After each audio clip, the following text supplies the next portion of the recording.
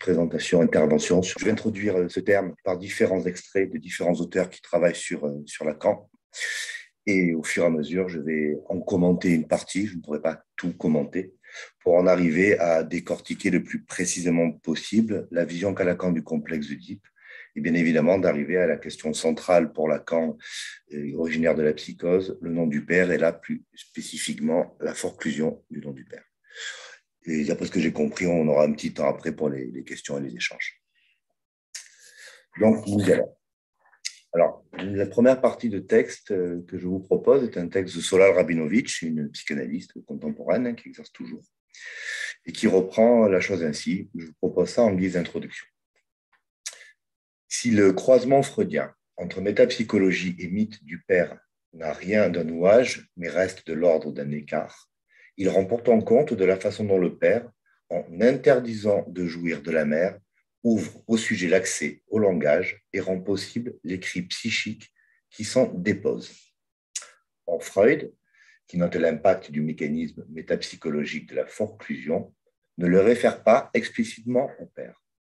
Il faut attendre Lacan pour que soit introduit à partir de la psychose le nom du père, là où, précisément, la forclusion le frappe les conséquences de la fonction du nom du père sur l'ensemble de l'organisation psychique et sur l'appareil signifiant, tel que le sujet peut ou non s'y inclure, montrent dans un mouvement de rebours comment ce signifiant-là est celui qui commande au psychisme.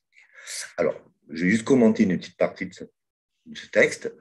Alors, déjà, l'idée, c'est que ce que Lacan appelle le nom du père, et on va voir après plus précisément ce que c'est, c'est ce qui va organiser le sujet. Ou autrement dit, c'est ce qui va permettre au sujet de s'inscrire en qualité de sujet. C'est par ce que Lacan appelle le nom du Père que le sujet va pouvoir consister en cette qualité particulière.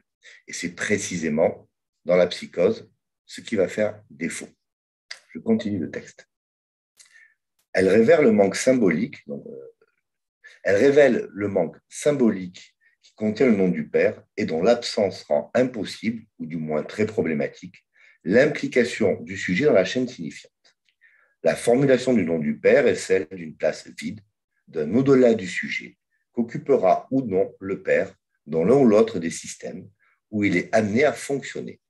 Cette place est ectopique, c'est-à-dire qui n'est pas à sa place habituelle, donc ectopique au sujet, indépendante de lui. Alors, par rapport à cette partie, je rappelle euh, que ce qui va faire le sujet, c'est l'inscription par et dans le langage. Et qu'à ce titre, l'enfant, l'infance, donc il n'est pas encore sujet en construction, on parle du nourrisson qui, dans les, premiers stades de sa vie, va se développer et consiste en tant que sujet.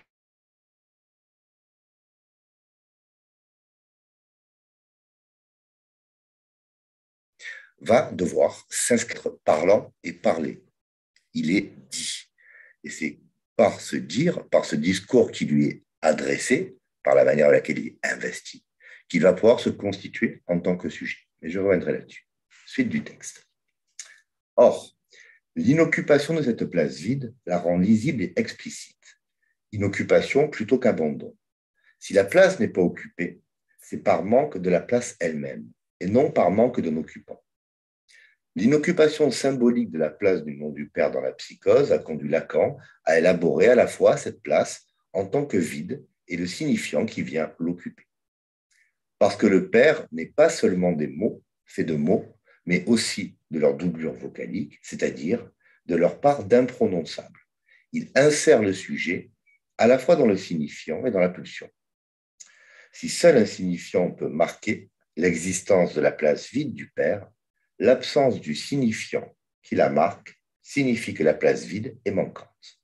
Or, elle est doublement manquante, une fois parce que son signifiant manque, une fois parce que du père réel l'occupe, du père côté pulsion, côté jouissance. Alors ça, c'est la partie, on est d'accord, la plus opaque du texte. Euh, ce que vous pouvez en retenir, c'est vraiment une question de place, mais d'une place qui ne peut pas être en soi comblée. Et le nom du Père dans sa fonction va permettre au sujet, lorsqu'il n'y a pas forclusion, justement trouver quelque chose pour combler provisoirement cette place. Et ça, c'est vraiment le névrosé qui va le produire parce qu'il est inscrit d'une certaine façon dans le langage. D'accord? A contrario, la forclusion du nom du père va empêcher non pas à ce que quelque chose occupe la place, mais la place en elle-même. Il n'y aura pas de lieu que l'on pourrait faire occuper par quelque chose. Et c'est bien là toute la particularité de cette relation de la psychose au langage, au corps. Et pour ce qui nous intéresse plus spécifiquement, à cette fameuse métaphore du nom du Père. Le texte continue ainsi. Absenté par la forclusion, la part symbolique du Père laisse en place sa part réelle, qui occupe les lieux. L'absence d'un signifiant marquant la place vide dans la chaîne produira chez le sujet, s'il rencontre du Père réel, une altération délirante qui viendra à la place d'aucune réponse possible. En somme, l'altération délirante sera sa réponse à l'irruption d'un Père comme sans raison. Alors, ça, c'est la, conclusion de la partie que, par laquelle j'introduis la question de la psychose chez Lacan. Ce qu'il faut déjà entendre, alors, toutes ces notions de réel, de symbolique. Alors, le symbolique, c'est ce qui est de l'ordre du langage. Le réel, c'est un peu plus complexe. Ça aura plusieurs sens chez Lacan au fur et à mesure de son travail.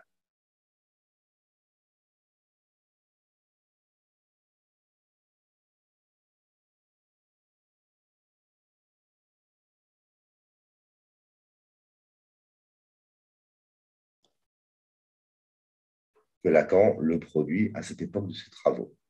Et ça va avoir aussi, on verra après, un rapport avec le corps. Donc, la première proposition, je vais essayer de réduire à quelque chose d'assez simple, mais pour autant précis, c'est que, un, ce qui va faire que le sujet va pouvoir se constituer en tant que sujet. Donc, par et dans le langage, c'est bien sûr, un, qu'il va être parlé, qu'il va être investi par un autre qui va le désigner comme objet de son discours, et qu'il va lui-même se constituer par le symbolique, par le discours, en sa qualité de sujet. Ça, ça va être permis, on verra plus tard quand je vais aborder les, temps de l'Oedipe, parce que Lacan appelle le nom du Père. On va voir toute la fonction de cet ordre symbolique qui va faire loi, en quoi est-ce qu'elle permet au sujet justement d'être un sujet singulier, c'est-à-dire, pour essayer de produire simplement, de ne plus être l'autre et donc être soi. Il s'avère que s'il y a forclusion, on reviendra sur ce terme, cette opération ne se produit pas. Et c'est donc bien le sujet en sa qualité propre de sujet qui ne consiste pas exactement par le langage. Le sujet singulier n'est pas, en quelque sorte, délimité. C'est tout ce qui va faire la particularité de la psychose dans sa relation au langage et dans sa relation au corps. OK? Ça, c'est pour la base. Un petit peu de café. Et je continue. Alors, un deuxième texte que je vous propose de Catherine Joyce Bruno, qui va plus explicitement parler là de la forclusion du nom du Père. Alors, il y a des parties assez complexes. J'essaierai de ne pas faire trop long. Euh, ne soyez pas alarmés s'il y a des parties que vous ne comprenez pas. Je vais moi reprendre les parties qui me semblent les plus intéressantes pour que vous puissiez vous constituer une idée. D'accord? Alors, on prend en bulle la forclusion du nom du Père. Hein. Bon, on rappelle qu'elle est élaborée par, par Jacques Lacan entre 1955 et 1957. Il en parle notamment dans un texte d'une question préliminaire à toute réponse possible au traitement de la psychose. C'est dans les écrits, hein, euh, publiés en 58, donc euh, vous le trouverez au seuil, édition 66, page 531 à 583. Et durant ces jeunes années, Lacan écrit de nombreux textes sur la paranoïa. Alors, il reprend la théorie freudienne selon laquelle le délire psychotique est de nature homosexuelle, chose qu'il va au fur et à mesure euh, lâcher. Alors, il y a deux remarques purement cliniques qui concernent le père et qui peuvent être révélées à travers ces textes. Alors, la première se trouve dans sa thèse, rédigée en 32, et consacrée au cas aimé, le cas qui fait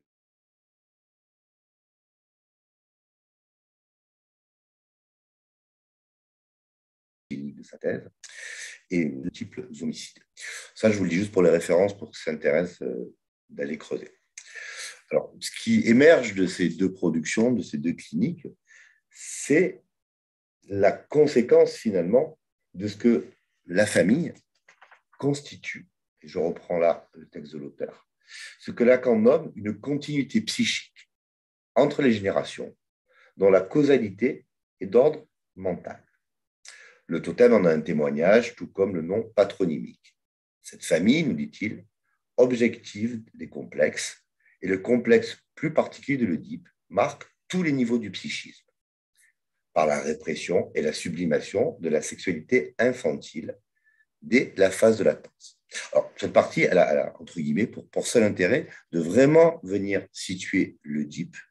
Alors, plus seulement l'Oedipe freudien, ce que va en faire Lacan, comme ce qui va constituer, alors on parle de continuité, cette prolongation, ce sujet qui a une origine, qui est né quelque part, et là on ne parle pas de naissance biologique, qui est né quelque part parce que né dans le langage, qui a été désigné, nommé et dit. Et que c'est cette constitution édipienne qui va en produire le plus gros de l'organisation. Je reprends le, fil du texte. Euh, alors, ces deux mécanismes, refoulement et sublimation, se réalisent sous l'égide du surmoi ou de l'idéal du moi, qui produisent alors l'imago du parent de même sexe l'idéal du moi, contribuant ainsi au conformisme sexuel du psychisme. Mais l'imago du père aurait selon la doctrine, dans ces deux fonctions, un rôle prototypique en raison de la domination mâle. Ça, c'est une citation de Lacan. Je le laisse tout à fait opaque, je le sais. C'est pour la suite que, ça m'intéresse de vous la citer. C'est donc dans le complexe de que le surmoi dépasse sa forme narcissique et que la fonction du père prend toute son ampleur en donnant au mécanisme psychique de la sublimation une forme épurée. Je continue et je, commente. L'imago du père, contrairement à celle de la mère, permet au sujet de se débarrasser de l'interférence des identifications primordiales, lourdes d'ambivalence. Elle assure le double rôle de l'incarnation de l'autorité et de l'accès à la réalité sexuelle. Fidèle à Freud, Lacan situe donc alors dans la carence du père le noyau de la névrose qu'il soit absent, millier, divisé ou encore postiche. Il vient annuler ou réduire par sa défection toute possibilité supplématoire pour traiter le moment structural de l'Oedipe. La sublimation, au moment de l'Oedipe, permet effectivement au sujet un remaniement identificatoire secondaire par introjection de l'imago du parent du même sexe. Cependant, cette identification secondaire n'est rendue possible que par la fonction pacifiant de l'idéal du moi dans la constitution et corrélation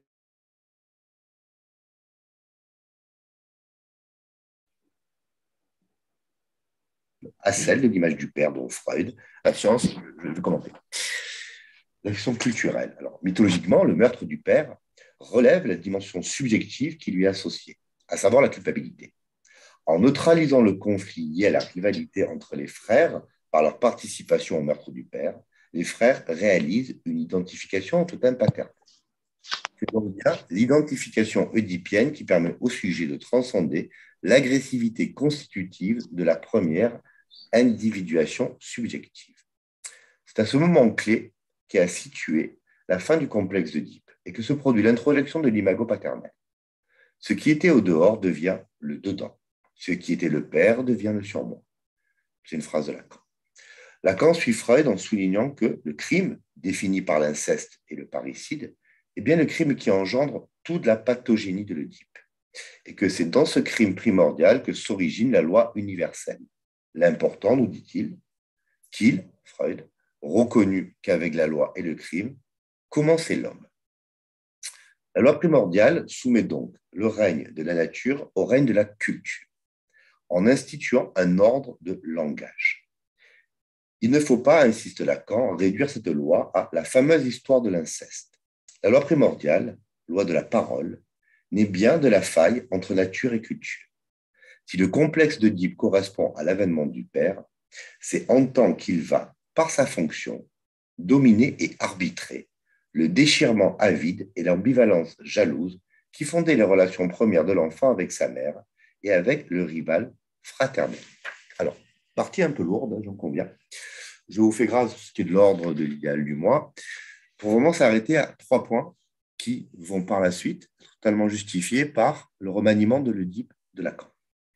Alors, le premier point qui est important, c'est ce passage nature-culture. On ne va pas le prendre selon un point de vue anthropologique, bien sûr, mais on va en considérer que c'est par le langage que le sujet est sujet. Ça, je vous l'ai déjà énoncé. Pour dire autrement, c'est par l'inscription dans le langage et donc par la parole qui est produite elle-même par le langage que l'homme est homme.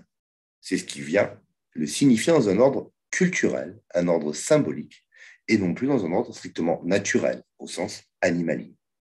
C'est donc bien cette émergence de la parole par le langage qui va constituer le sujet, et donc le sujet culturel.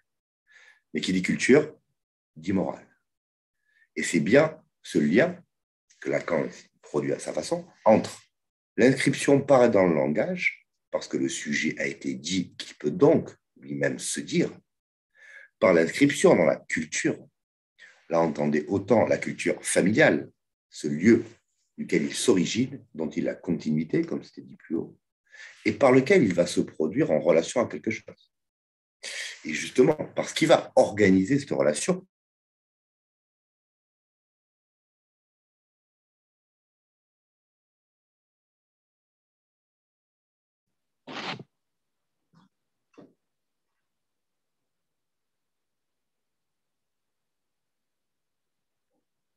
Euh, que je vous ai proposé, il y a justement cette notion de cette chose, le Père, on verra lequel, qui vient organiser, qui vient arbitrer.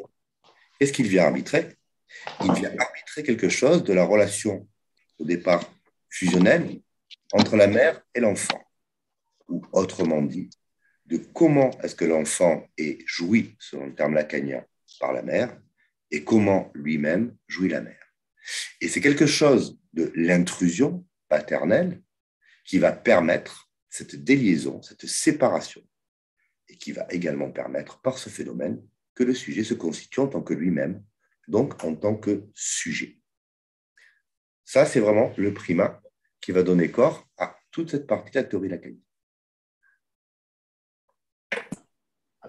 Je vous fais grâce de la suite du texte et je vous propose un autre extrait plus court, qui justement va spécifiquement parler de ce que Lacan appelle la métaphore paternelle. C'est un texte de Gisèle Chaboudez, une, psychanalyste contemporaine aussi. Je cite et je commente. Le processus de la métaphore paternelle, construit en 1958, consiste précisément à poser ce désir en premier lieu, à considérer ses effets sur l'enfance, puis son bridage par une instance symbolique paternelle, avant de subir un refoul. Il consistait à effectuer cette reconstruction de l'aliénation première, d'où seulement un sujet oedipien pouvait se concevoir.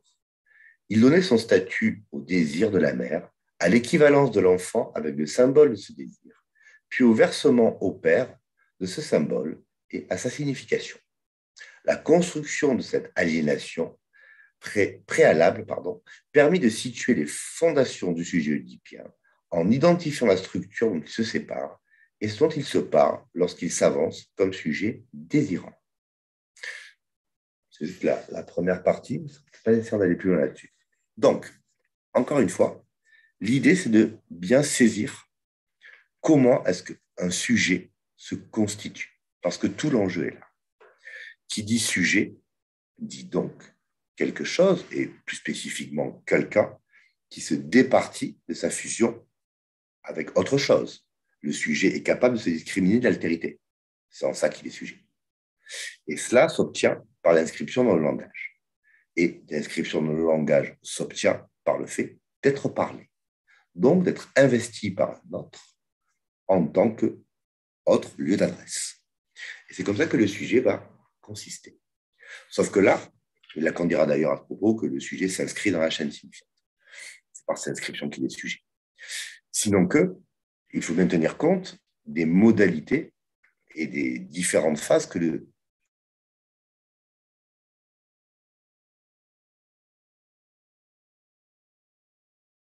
sur sujet, si j'ose dire, va traverser. Donc, le stade oral, dans les 18 premiers mois de la vie, où le nourrisson, je ne vais pas vous refaire tout le stade, hein, mais va justement passer d'un principe que Freud aura appelé au départ euh, les pulsions euh, autoconservatrices à celle de sexuelle dans la première théorie des pulsions. C'est-à-dire comment est-ce que le futur sujet bah, passe de la faim à la satiété, de la satiété au soulagement, du soulagement au plaisir, du plaisir au désir.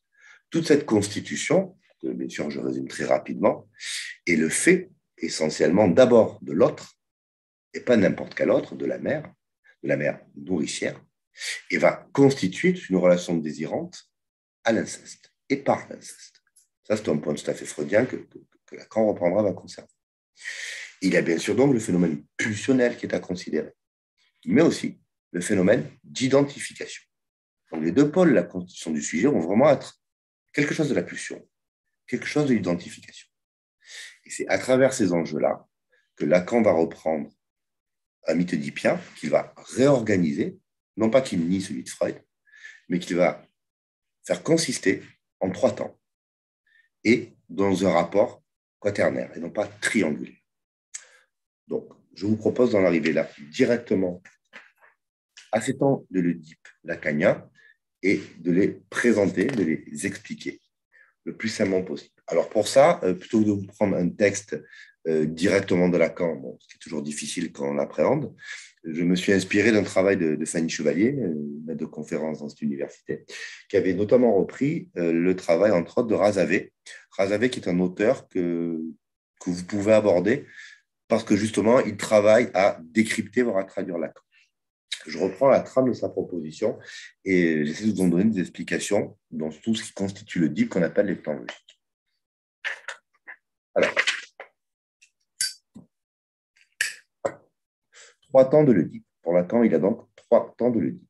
Le premier temps, où la question est être ou ne pas naître. Ou, pas ou ne pas naître. Être ou ne pas être. Question donc shakespearienne. Alors, Lacan opère une bascule théorique dans la psychanalyse en posant que la relation du bébé à sa mère n'est pas une diade, une dualité, mais qu'elle est d'emblée triangulée. Et la triangulation, c'est la mère, l'enfant et le phallus. Le phallus étant entendu en tant qu'objet de désir de la mère. C'est ce qui constitue le paradoxe de l'Oedipe chez à savoir que le seuil du procès oedipien se caractérise par l'éclipse de l'instance paternelle. Ça, c'est un auteur qui s'appelle Joël Dor, dont je vous donnerai les références après, qui le dit. Que vous pouvez parfaitement lire aussi et qui explique Lacan. S'il y a d'emblée triangle, celui-ci exclut le père. La relation mère-enfant, qui a tendance à être qualifiée de fusionnelle, ne concerne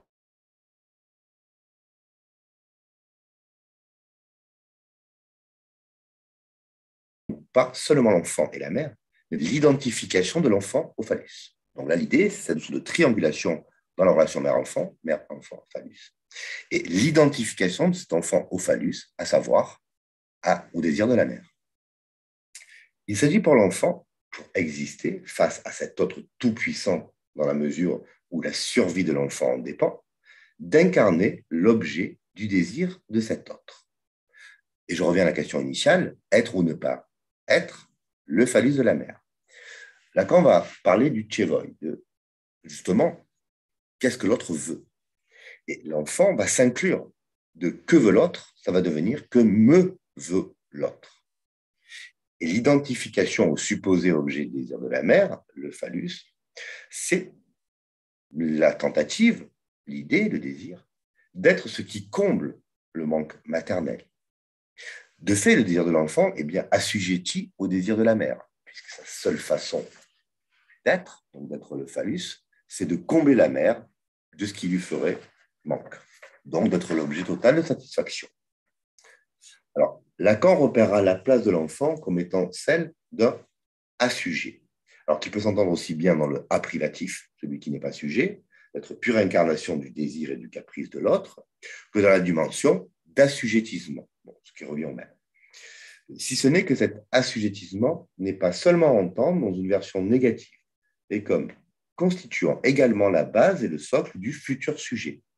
L'angoisse de l'enfant vient donc manifester de l'intenable de cette position d'assujet, car il est là aux prises avec la jouissance maternelle, dans les deux sens du terme, la mère jouissant de lui comme lui jouissant d'elle. sans médiation. Cette première relation à l'autre est donc à saisir dans tout son paradoxe, comme nécessaire à la constituante, vitale comme il a été dit, la condition pour que l'enfant existe psychiquement étant qu'il existe dans le désir de la mère, à la condition de pouvoir s'extraire de cette position, d'être ou pas le phallus pour la mère. En d'autres termes, ce premier temps de l'Oedipe, et cette question d'être ou ne pas être, être ou ne pas être le phallus, va être un temps prédominant, alors qu'il y a pour ça une difficulté, si j'ose dire, de ne pas avoir de tiers, puisque même si c'est une relation triangulaire, elle est entre la mère, l'enfant et le phallus. Il n'y a pas un tiers qui vient empêcher cette fusion. Avec cet enjeu de jouir et d'être joui, être joui par la mère, au sens que la mère dispose de nous en tant qu'objet, et qu'on jouit de cette place de phallus que l'on hypothétise et que l'on occupera l'endroit de son désir. Et justement, cette notion d'être assujet, donc pour le reprendre, d'être assujetti, assujetti à quoi? À la toute-puissance de la mère, à la toute-puissance de sa jouissance et de son désir, et au fait qu'aucune loi ne vienne justement réguler ça. Est à la fois ce qui va constituer, pour une part, l'insupportable de la suite.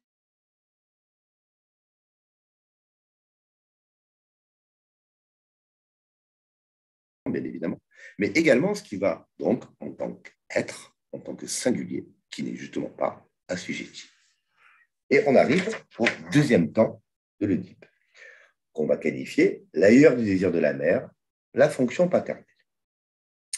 Le soupçon que l'enfant ne sature pas le manque de la mère, les absences de celle-ci, introduisant une dimension tierce à la relation mère-enfant, introduit la dimension du manque, en tant qu'il affecte en premier lieu la mère. D'emblée, les allers-retours de la mère, présence, absence, se font la marque de son désir vers quelque chose. Que veut-elle? Que veut-elle celle-là? Je voudrais bien que ce soit moi qu'elle veuille, mais il est bien clair qu'il n'y a pas que moi qu'elle veut. Il y a autre chose qui la travaille. L'énigme du désir de la mère désigne le phallus. Alors, par rapport à ce manque qui doit d'abord affecter la mère, là encore, c'est l'une des spécificités de l'approche lacanienne que de considérer que la castration, pour qu'elle s'inscrive pour l'enfant, doit d'abord affecter la mère. Alors, ce que l'on perçoit déjà chez Freud, pour qui l'enfant se détourne de la mère, de la découvrir castrée, mais la castration étant réduite à l'absence du pénis. La portée est très différente. Là, on ne parle pas de castration-là, on ne parle pas de l'absence du pénis de la mère.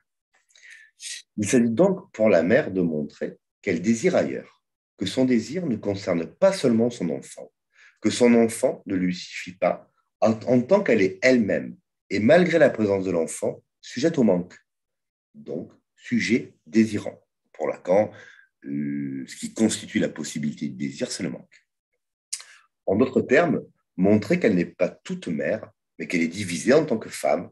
Le fait que la mère désire autre chose que son enfant vient non seulement signifier qu'elle est manquante, mais désigne également à l'enfant un ailleurs, un ailleurs susceptible de répondre à son désir à elle. C'est-à-dire un ailleurs pourvu de ce que l'enfant n'a pas, pourvu de ce que l'enfant ne peut donner à sa mère, le phallus. Alors cet ailleurs du désir de la mère vient donc castrer la mère aussi bien que l'enfant. C'est là pour Lacan l'intervention du père dans ce qui, jusque-là, fonctionnait dans le huis clos du triangle dit imaginaire. Le père vient donc s'inscrire en ce deuxième temps de l'Oedipe, et on rentre là dans l'Oedipe proprement dit, en position de quatrième terme, comme celui qui possède ce que la mère désire. La mère révèle qu'elle est dépendante d'un objet qu'elle n'a pas, et que l'autre, le père, a. Ce deuxième temps de l'Oedipe fait donc intervenir le phallus en tant qu'on l'a ou pas, ce qui crée une bascule de la dialectique de l'être à la dialectique de l'avoir, en ce qui concerne le phallus. Il ne s'agit donc plus d'être ou pas le phallus, mais de l'avoir ou non. Voilà ce qui polarise le désir de la mère. Donc, l'idée est la suivante.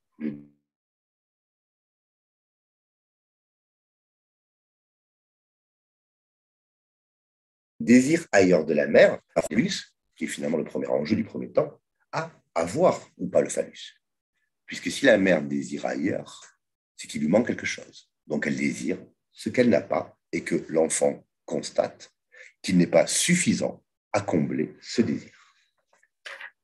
Donc il ne peut pas être le phallus, mais peut-être peut-il l'avoir. Alors, par son désir tourné hors de son enfant, ce n'est pas simplement le manque maternel qui est révélé, mais corrélativement, sa toute-puissance qui se retrouve fondamentalement remise en cause. En tant que son désir, qui jusque-là faisait la loi à l'enfant, mais une loi sans régulation, un caprice, se présente en ce point comme soumis au désir d'un autre. La mère n'est pas la loi en tant que telle. Il existe un autre qui lui fait la loi. C'est bien cet autre auquel le désir de la mère est soumis et qui représente alors une loi au-delà de la mère qui fait pour Lacan office de fonction paternelle. Que cet autre soit effectivement incarné par le père de la réalité ou donc autre chose, mère soumise aux exigences de son travail par exemple. L'idée c'est ça, la mère n'est pas la loi puisqu'elle-même soumise à une autre loi, à une loi autre. Et cette loi autre, c'est la fonction paternelle. Entendu, non pas le père en tant que ce qu'il est, lui, en tant que cet ailleurs vers lequel la mère désire, et cet ailleurs qui la limite et qui l'appelle vers d'autres choses. Et c'est bien ça le père symbolique. L'enfant se retrouve confronté à cette loi, la loi du père, dans la mesure où il découvre que la mère s'en trouve elle-même dépendante au niveau de la satisfaction qu'elle peut apporter aux demandes de l'enfant. Qu'est-ce que ça signifie? Que la demande de l'enfant, demande d'être satisfait, se heurte non pas au simple bon vouloir de la mère, mais est renvoyée à, entre guillemets, une cour supérieure. L'intrusion du père se fait alors sous la forme d'un non qui prive la mère aussi bien qu'elle frustre l'enfant, qui prive la mère de jouir de son enfant, qui frustre l'enfant de jouir de sa mère. La mère fonde le père comme médiateur de sa loi à elle, c'est-à-dire comme médiateur de quelque chose qui est au-delà de la loi à elle et de son caprice. Et c'est bien là que le nom du Père va consister. Alors, si je reprends cette partie-là, quelques minutes, l'idée c'est quoi? L'idée c'est de proposer que dans un premier temps, la relation mère-enfant, dans le premier temps de dit, toute fusionnelle, et que l'enfant, le sujet en devenir, justement être à la merci, en quelque sorte, de la décision de la mère, de son desiderata et que rien ne va venir faire obstacle. L'enfant est joué en tant qu'objet par la mère. Elle le prend quand elle veut, elle l'allait quand elle veut, etc. etc. Et l'enfant va fantasmer, en quelque sorte, qu'il comble la mère, qu'il est le phallus. Dans ce deuxième temps, c'est justement quelque chose d'une autre, d'un autre plus précisément, qui va intervenir, qui va intercéder et qui va limiter la jouissance de la mère.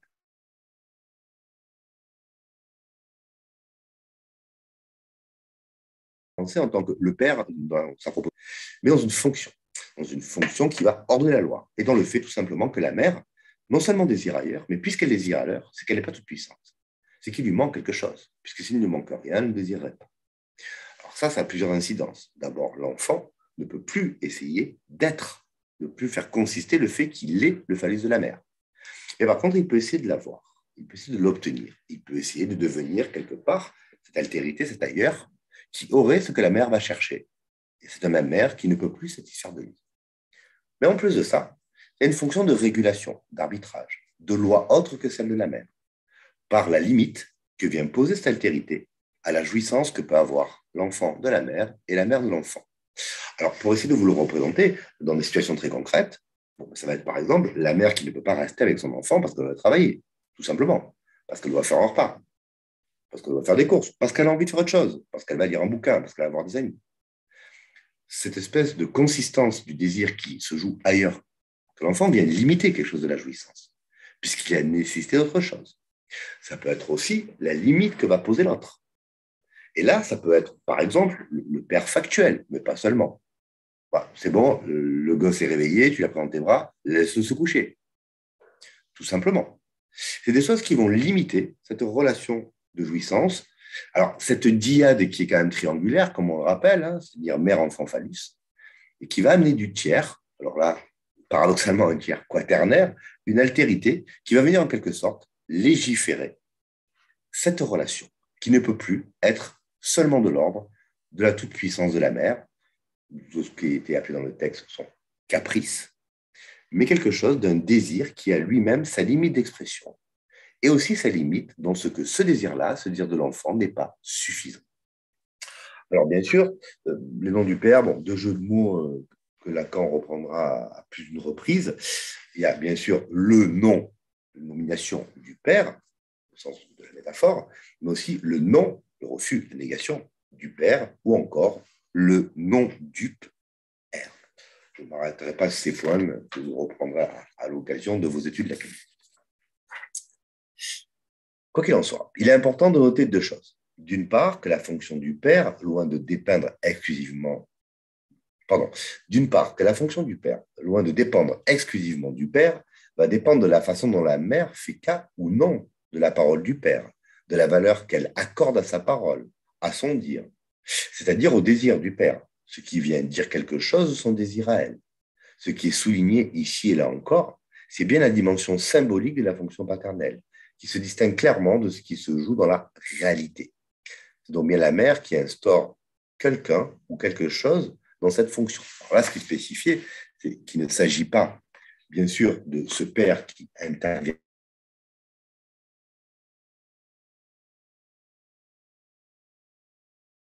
Encore faut-il que cette intervention que loi en tant que limite.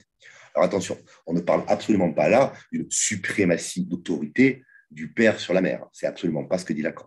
On parle vraiment de fonctionnalité de ce père, donc de cette tiers qui est en fait quaternaire, de cette entrave en quelque sorte à la fusion, de cet autre qui vient se mêler de cette relation diade formellement, ternaire avec l'enjeu du phallus.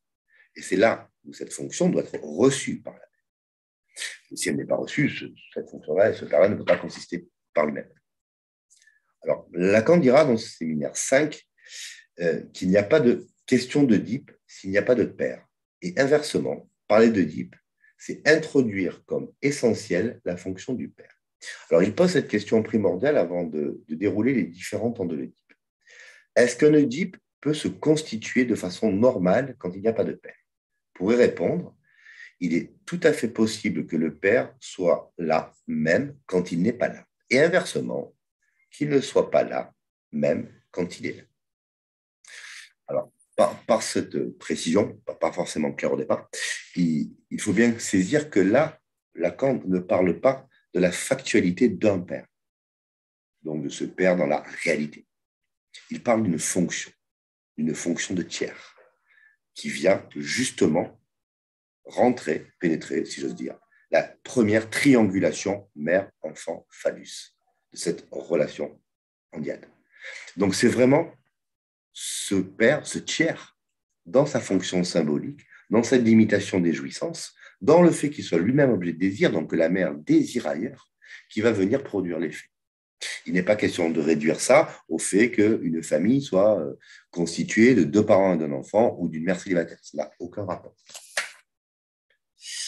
Le père fait de plus en plus question dans les discours ambiants, de même qu'il ne fait nullement figure d'évidence chez l'enfant. Les théories sexuelles créées par l'enfant témoignent de ce que le père ne serait nullement nécessaire à la création de l'enfant. Il est d'apprendre le père, selon Lacan, comme une fonction radicalement distincte de la présence paternelle, comme de ses occurrences négatives telles que l'absence, la carence et d'autres formes d'inconsistance paternelle. Lacan ajoutera que parler de sa carence dans la famille n'est pas parler de sa carence dans le complexe. Parce que pour parler de sa carence dans le complexe, il faut introduire une autre dimension que la dimension de la réalité. Il ne reste pas moins qu'inviter le père ou parler du père, en questionnant la mère et l'enfant sur ce que le père pense de leur venue en consultation, par exemple, introduit là un tiers, qui n'est pas forcément la personne même du père, mais qu'existe pour nous la présence d'un tiers sur lequel l'enfant, sans lequel pardon, l'enfant n'aurait pas été là. Donc l'idée je vous propose de le réduire dans des propositions de chiffres. Une castration, au sens d'une coupe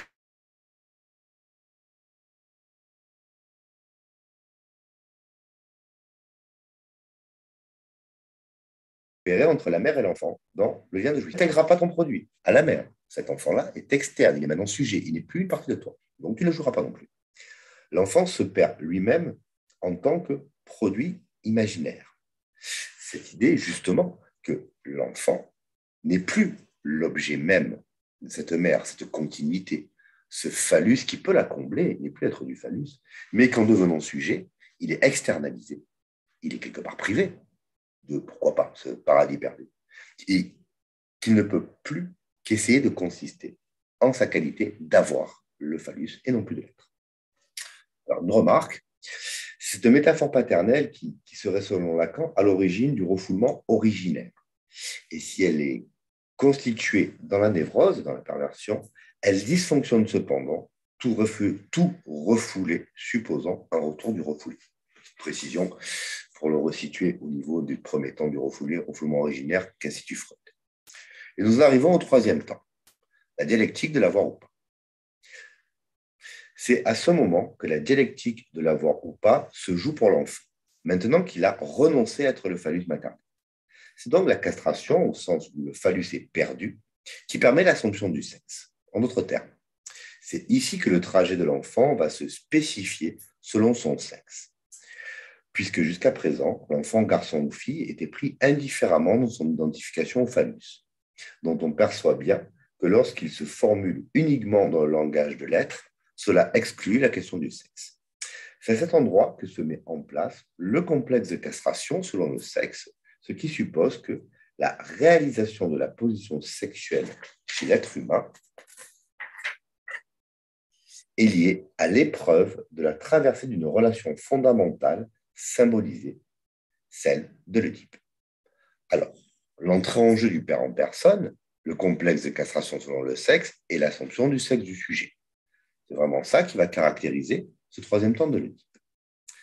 Le troisième temps de l'Oedipe marque donc l'assomption de son sexe par l'enfant par une identification, où il s'agit pour le garçon de s'identifier au père en tant que possesseur du pénis et pour la fille de reconnaître l'homme en tant que celui qui le possède. Alors, nuançant en inversant, de reconnaître que la mère n'a pas ce qu'elle lui demande et qu'elle devra le chercher ailleurs, revient même. La promesse oedipienne par le don du père. Lacan dira que le garçon a ses titres en poche. Petite remarque, pas forcément intéressante dans l'exposé. L'Oedipe, selon Lacan, se distingue de l'Oedipe freudien en tant qu'il désigne la relation incestueuse de l'enfant avec la mère, quel que soit son sexe. c'est Razavé qui le précise. Et que la métaphore paternelle a pour fonction de dégager l'enfant de sa place de phallus pour la mère, d'interdire la relation incestueuse et de mettre en place la castration, c'est-à-dire le manque, par cette c'est cette castration qui ouvrira à la question du désir dans la mesure n'est pas désir d'un objet, désir du désir de la allié au jeu des identifications selon le sexe va permettre que le désir du sujet soit mobilisé fixé à l'objet primordial. Seule la désignation d'objet pour la mère permet à l'enfant, en tant que sujet désirant, la castration est perdue pour toujours. Le, et dynamise le désir. Rejoint cette et par le manque que le désir pouvoir se produire. C'est-à-dire que la fonction Quelques précisions. C'est quoi le désir pour Lacan Alors oui, certes, ça c'est du. Le désir, c'est le désir.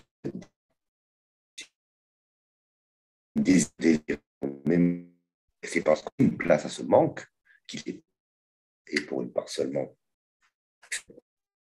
sera aussi quelque chose de la construction de l'angoisse. Peut, peut désirer d'être. C'est vraiment cette fonction-là qu'il faut, et ne pas réduire le désir à ce qui se de l'envie de quelque chose. C'est ça qui est précis. Mots, aussi clairs que possible, expliqués que possible,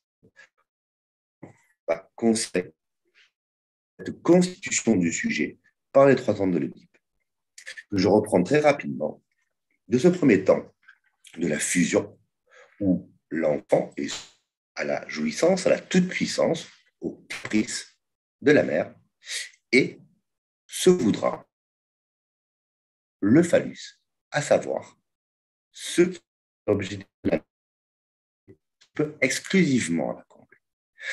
La relation Dieu-diade est en fait une triangulation, mais chose d'une castration qui va s'opérer d'une rupture, d'une limite cette limite, c'est l'intervention symbolique qu'il va la produire. C'est donc quelque chose qui va devenir quaternaire avec le père symbolique. Les la jouissance de la mère et celle de l'enfant. Pourquoi? Un, ailleurs, dans le sens où cet enfant qui va être appelé par une altérité, un autre désir, ou un désir plutôt qui va se manifester autrement que par l'enfant. Ça va constituer du coup chez la mère quelque chose du manque aussi. La mère n'est pas toute puissante, elle n'est pas toute. Elle, de mots,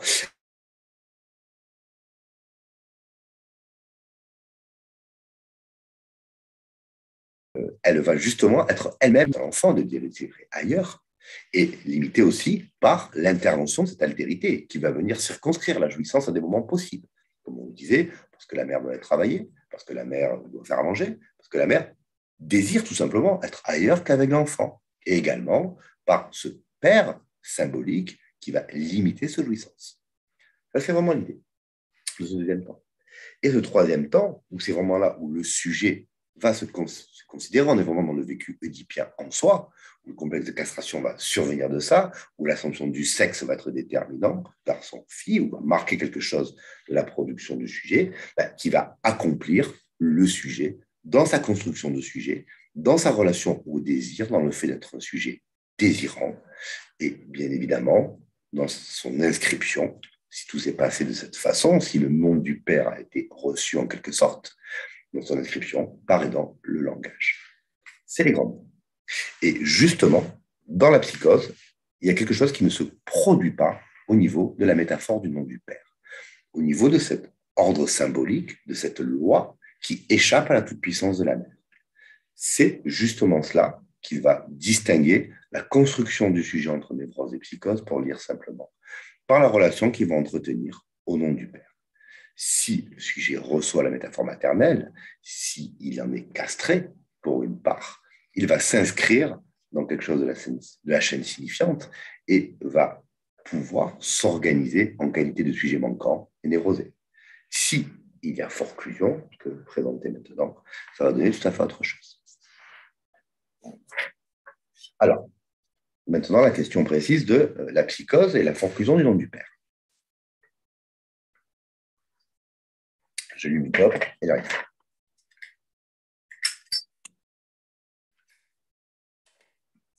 Alors, c'est justement lors du deuxième temps oedipien que va se manifester la fameuse forclusion du nom du Père, en ce que la métaphorisation du nom du Père va échouer. Elle ne va pas se constituer. Alors, comme le fait remarquer euh, Rabinovitch dans le texte de l'introduction, je ne l'ai pas lu pour rien, elle révèle, la forclusion, le manque symbolique que contient le nom du Père, et dont l'absence rend impossible l'implication du sujet dans la chaîne signifiante. Or, l'inoccupation de cette place vide, l'inoccupation de cette place vide la rend lisible et explicite, inoccupable plutôt, inoccupation pardon, plutôt qu'abandon.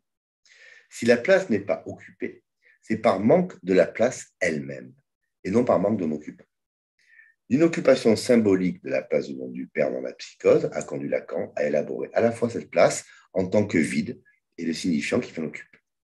Parce que le Père n'est pas fait seulement de mots, mais aussi de leur doublon vocalique, c'est-à-dire de leur part d'imprononçable dans Si seul un signifiant peut marquer l'existence de la place vide du Père, l'absence de signifiant qui la marque signifie que la place vide est manquante. Or, elle est doublement manquante. Une fois parce que son signifiant manque, une fois parce que du Père réel l'occupe. Du Père côté pulsion, côté jouissance. Absenté par la forclusion, la part symbolique du Père laisse en place sa part réelle qui occupe les lieux. L'absence d'un signifiant marquant la place vide dans la chaîne produira chez le sujet s'il rencontre du Père réel, une altération délirante qui viendra à la place d'aucune réponse possible de sa part. En somme, l'altération délirante sera sa réponse à l'irruption d'un Père comme sans raison. Alors, si je vous relis cette partie qui était en fait l'introduction, c'est pour que vous le reconsidériez à l'aune des temps oedipiens qui vient, qui vient d'être présenté. C'est justement au deuxième temps où quelque chose de la fonction symbolique du Père n'opère pas. Donc, ça implique un ensemble de choses. D'abord, ce qui n'est pas interne, on se rappelle la construction, le sujet passe de l'être du phallus à l'avoir du phallus, l'avoir du phallus, c'est une externalité, une altérité. Va donc consister de manière interne dans un premier temps. Il va y avoir quelque chose qu'on va nommer un trou, une béance. Quelque chose qui n'est pas comblé. Non pas parce qu'on ne trouve pas de solution pour le combler. Le névrosé ne comble pas ce trou. Mais par contre, il peut faire occuper cette place vide parce qu'il y a un lieu de la place vide. Et c'est par le signifiant, le signifiant du nom du Père, que cette place vide va être occupée. Là, il n'y a pas la place vide. La place vide n'a pas consisté. Il y a quelque chose qui ne s'est pas produit. Et c'est en ça qu'il y a forclusion du nom du Père et que le sujet psychotique va s'organiser ben, à sa façon. Alors, on va essayer de se représenter, donner une représentation imagée justement de la forclusion du nom du Père. Il y a Serge Leclerc, un psychanalyste, qui en fait une proposition à la fois simple et, précise. Imaginez un tissu, un morceau de tissu, composé d'une trame qui permet de tenir le tissu, la façon dans laquelle ben, le tissu, l'étoffe est assemblé. Et ça, ce serait la structure du sujet. Se met d'accord, un morceau de tissu, ben, c'est tout un nouage, un maillage de différentes parties qui fait un tout structuré, organisé. Pour le névrosé, par le refoulement, il va y avoir une déchirure, un accro, mais donc susceptible d'être retouché, reprisé. Cet ordre symbolique que produit le père, si on reprend la métaphore euh, de Leclerc, va produire effectivement une déchirure. Ça, c'est tout l'enjeu d'Hypien. Mais ça ne va pas remettre en question le maillage, la manière avec laquelle l'ensemble de la chose tient. Il va juste avoir une déchirure qui va être rapiécée. Ça va laisser une cicatrice. Mais ça, ne va pas faire déconsister l'ensemble de la chose. Pour le psychotique, par la forclusion. Le défaut est dans la trame même. Au moment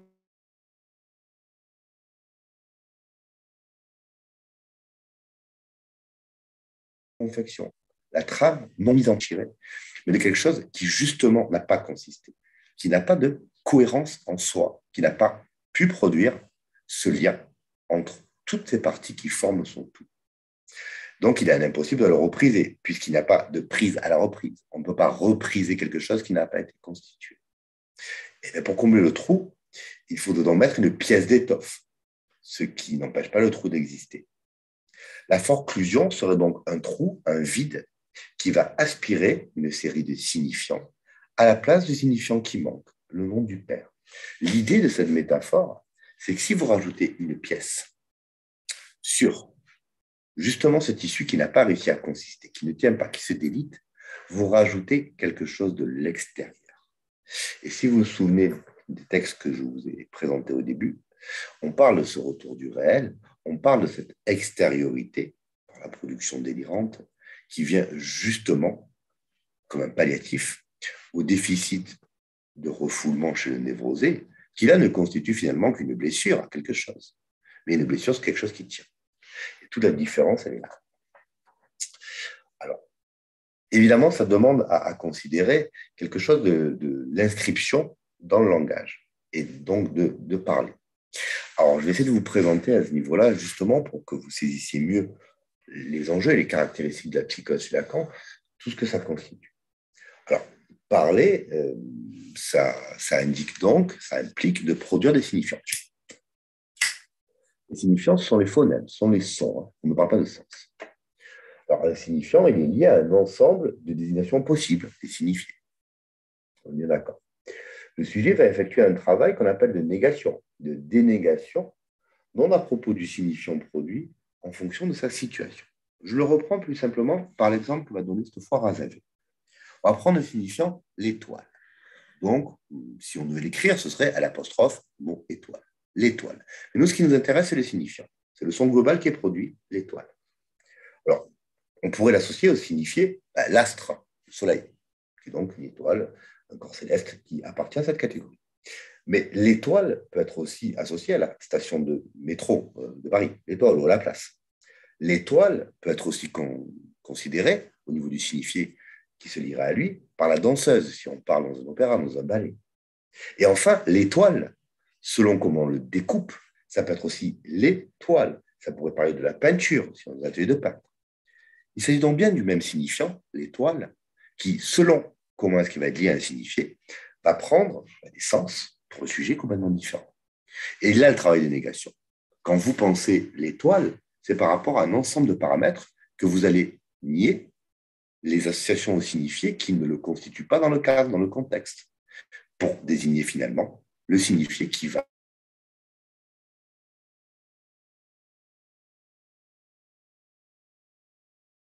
associé à ce signifiant. donc bien vous Ce qui implique cette possibilité de traiter d'un signifiant comme, pour cette partie-là, possiblement lié à un ensemble de signifiés qui vont dépendre ben, du contexte et d'un ensemble de choses. Alors, on exclut donc, je reprends l'explication, euh, l'un ou l'autre des signifiés suivant le contexte dans lequel le mot est employé. Et à l'inverse, on ne peut pas dire qu'une étoile, c'est seulement un astre, car c'est aussi donc une once, etc. Donc, non seulement pour procéder à cette association avec le signifié, on va éliminer ce qui ne consiste pas dans la situation, mais ça veut dire qu'on peut admettre que le signifiant l'étoile, en lui-même, ne produit aucun signifié. Le signifiant n'a pas de sens. C'est uniquement lorsqu'on le lit un signifié qu'il produit du sens. Et c'est précisément ce que le psychotique a beaucoup de mal à faire. Le signifiant qui appartient à l'ordre symbolique est donc forclos et retrouvé dans le réel. La forclusion n'est pas inscrite et se signale par un vide, un trou, dans le système symbolique. La, la métaphorisation du nom du Père ne s'est pas faite, n'imposant ainsi pas de sens signifié du signifiant phallique en place du signifiant X inconnu, désir de la mère, à la coupure du lien mère-enfant opéré par le Père, représentant la loi et l'interdit de l'inceste. Je vais revenir sur cette phrase. ce qui n'est pas symbolisé, donc ce qui n'a pas d'inscription au niveau du système psychique, fait retour au sujet par l'extérieur, par le dehors et dans le réel. Par la forclusion, ce qui vient du dedans pourra provenir du dehors, dans le réel qui n'est pas la réalité quotidienne ou banale que nous pouvons partager, mais le réel qui a un rapport avec le corps, sa délimitation aussi, et le réel qui, pour le sujet désirant, est sa réalité, sa réalité psychique. Alors, autrement dit, quand il y a forclusion du nom du Père, quand la métaphore paternelle n'a pas pu se produire, n'a pas pu donc situer le sujet dans la chaîne signifiante, si on reprend l'exemple qu'on a donné, n'a pas pu permettre au sujet d'intégrer que le signifiant n'a pas de sens en soi et que le signifiant va produire du sens par le contexte. Et que donc, par rapport justement à cette symbolique paternelle, à cette loi, à ce nom du Père, qui n'a pas de sens en soi. Un ensemble de sens seront, tout à fait inconsciemment du reste, produits au fur et à mesure pour justement venir combler cette place vide, parce que cette place vide existe dans l'organisation du sujet. Avec la forclusion, cette place vide qui n'existe pas. Au sens, ce n'est pas une place vide qui peut être provisoirement remplie, mais c'est un trou c'est quelque chose qui ne permet pas à l'unité, à l'entité, d'être justement une unité, de consister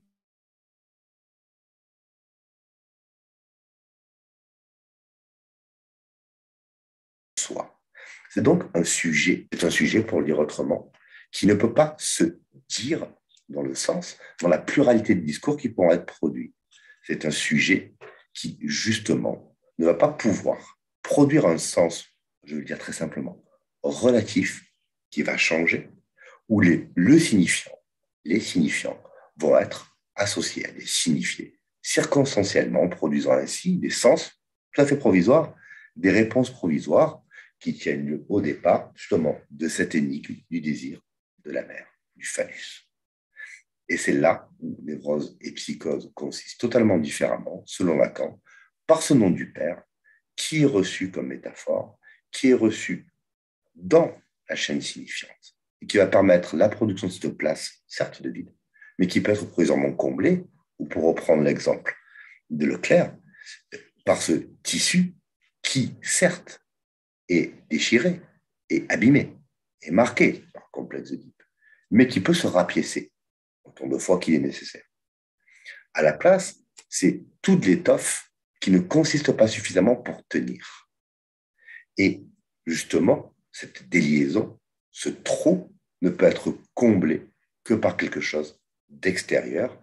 Et c'est là où la production délirante va venir combler cet impossible de la métaphorisation du nom du Père, puisque forclusion.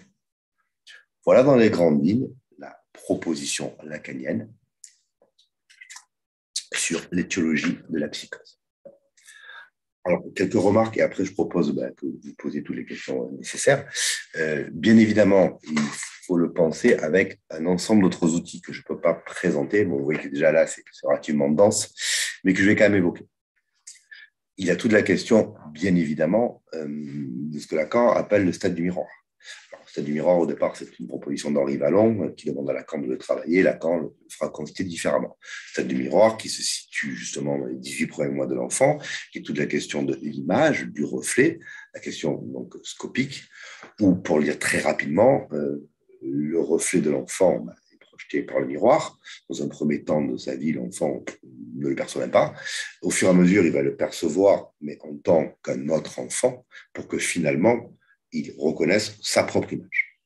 Euh, notez que c'est par ce stade du miroir, par après le travail des schémas optiques, que Lacan va finir par élaborer son schéma L, le schéma qui présente donc comment est-ce que l'identification se produit, et qu'à cet axe dit hum, spéculaire imaginaire, pour le détail, l'axe A', euh, va devoir euh, se conjoindre justement un axe symbolique, grand A, je, c'est-à-dire qu'à ce reflet où l'enfant va finir par se voir lui-même, il ne va pas suffire qu'il y ait une production spéculaire, il va falloir qu'il y ait quelque chose d'ordre du symbolique, du discours de la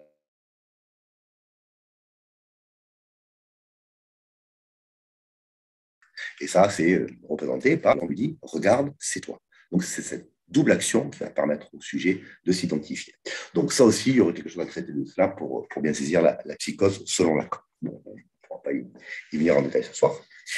Et euh, alors, l'autre point, il y a toute la dimension, euh, le deuxième temps, entre guillemets, de Lacan, tout le travail en structuralisme linguistique et symbolique, sur les discours, où Lacan va préciser un ensemble de choses, et notamment que euh, la parole, mais plus spécifiquement le langage, constitue et constitue différemment le sujet psychotique, au sens qu'il n'a pas la même relation au langage qu'à le névrosé.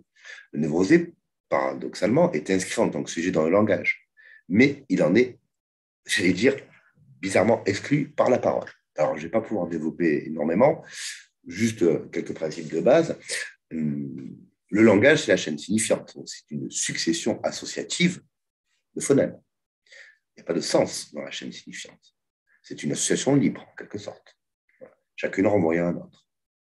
Et justement, la parole, c'est quelque chose qui est permis par le langage et qui vient produire une tentative de dire, donc de donner du sens. Comme par définition, ce que l'on dit ne peut pas correspondre à l'intégralité de la production du langage, puisque le langage, c'est, pour le dire simplement, toute une association signifiante, toute chose qui aurait pu être produite, la parole échoue à dire le langage. La parole est donc extraite du langage et les pertes. Et c'est en ce sens-là que le névrosé, quoique produit par le langage, n'a plus de rapport au langage, en quelque sorte condamné à la tentative de la parole qui échoue. Et ce sera modélisé par Lacan et par les discours, qui est donc, pour le dire simplement, une façon de considérer la manière avec laquelle la parole, selon certaines règles, peut s'exprimer par les quatre discours et les Il s'avère que cette partie-là, Lacan, bah, justement, en parlait vis-à-vis du psychotique. Alors, je vous dis très rapidement, ça pourrait être l'objet d'une intervention autre. Euh, pour le sujet paranoïaque, par exemple, euh, il est enfermé dans ce que Lacan appelle le discours du maître. Pour le névrosé, il y a des passages d'un discours à l'autre. Et c'est d'ailleurs par cela que peut émerger le discours de, de l'analyste. Chez le sujet paranoïaque, c'est un discours du maître qui ne donne que du discours du maître. Donc, un discours qui échoue à pouvoir cerner ce qu'il veut contrôler. C'est ce qui va faire en quelque sorte la certitude nécessaire du paranoïaque et l'impossible du doute. Par contre, pour le sujet schizophrène, là, on va préciser que la parole, le discours, a un effet de réel. Justement, on revient à cette notion d'extériorité. Voilà, ça c'était juste pour vous le, signifier, je ne peux malheureusement pas le, développer plus, plus, que ça.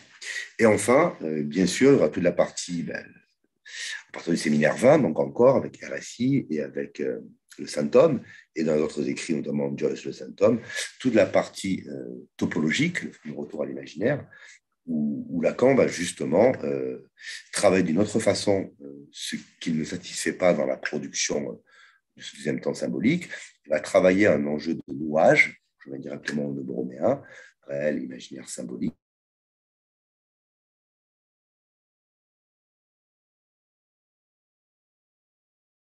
où en fait, ces trois aspects, justement, le psychotique là aussi, va avoir une façon bien à lui, bien spécifique de produire ce qui va faire que ce nouage va tenir. Ce sera la fonction du symptôme, comme un quatrième, qui va venir permettre aux trois autres de tenir. Voilà, j'en dis pas plus encore, parce qu'il faut rentrer en détail et on n'a pas trop le temps de, de, développer.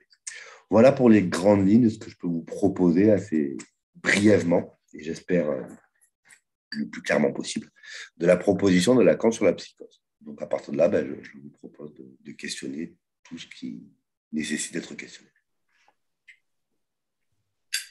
Merci beaucoup. Je vous en prie. Euh, alors, est-ce que vous avez des questions?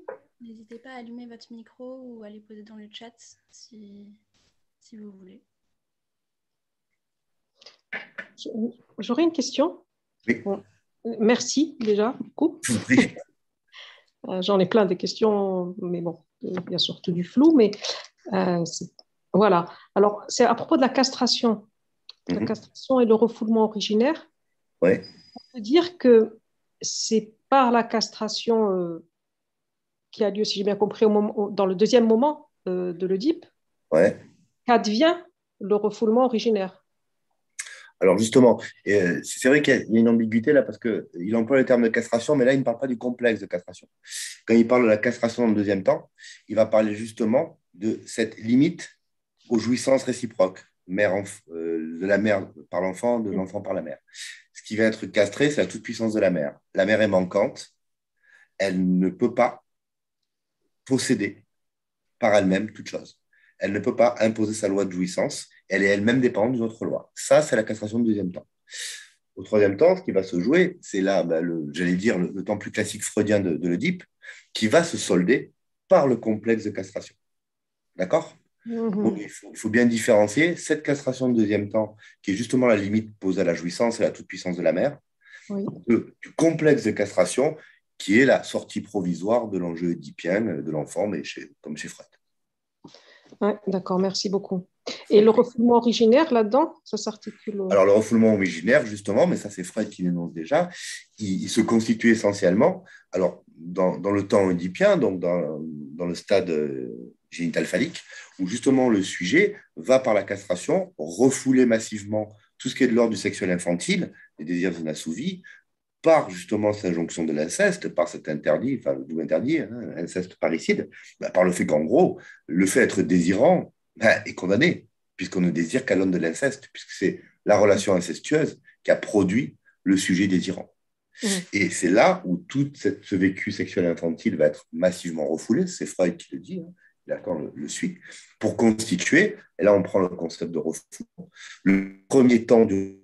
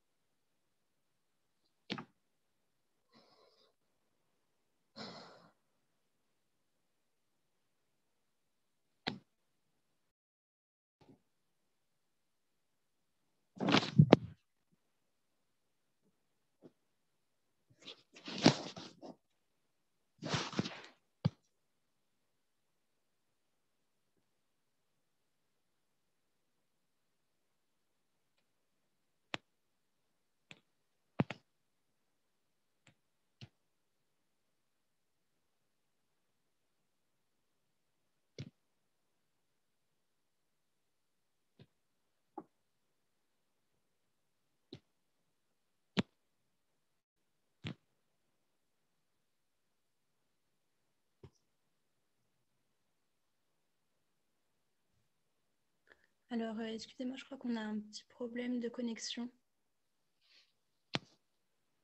Euh, monsieur, on ne vous a plus entendu. Oui, ça y est, c'est bon là? Oui, ça y est. Oui. Donc, comme je vous disais, euh, le, la castration du deuxième temps, c'est justement la limite faite à la jouissance de la mère sur l'enfant et de l'enfant sur la mère.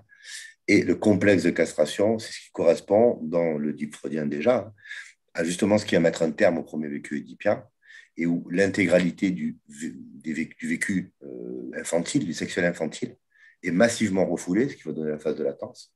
Et c'est ce refoulement massif qui va constituer le refoulement originaire, le premier temps du refoulement, autrement dit, cette espèce de pôle inconscient qui va être euh, justement constitué de l'intégralité du refoulé du sexuel.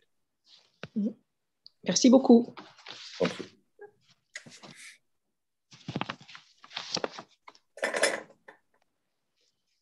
D'autres questions? Ah, Sinon, c'est que vous avez tout compris. Hein. je serais fier de vous, là, hein, mais franchement, je ne pense pas, parce que ah même en le disant, j'ai vu qu'il y avait des zones plutôt complexes.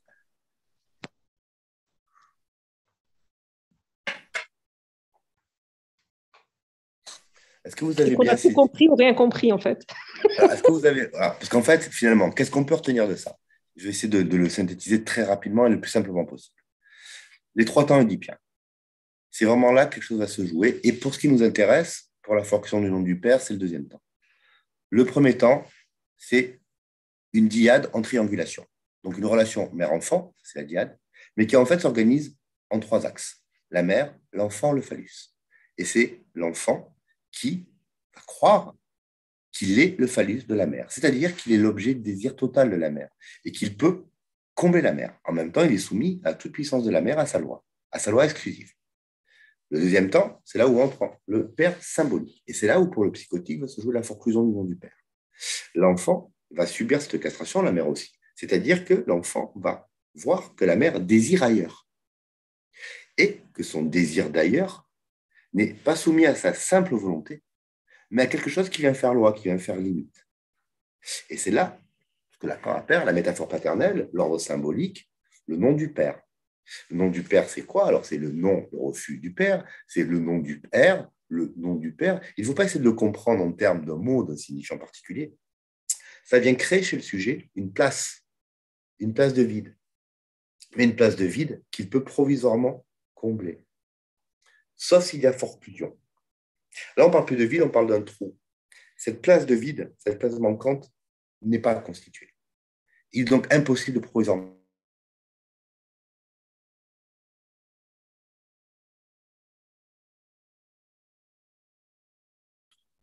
L'énigme de la loi est permanente de résolution.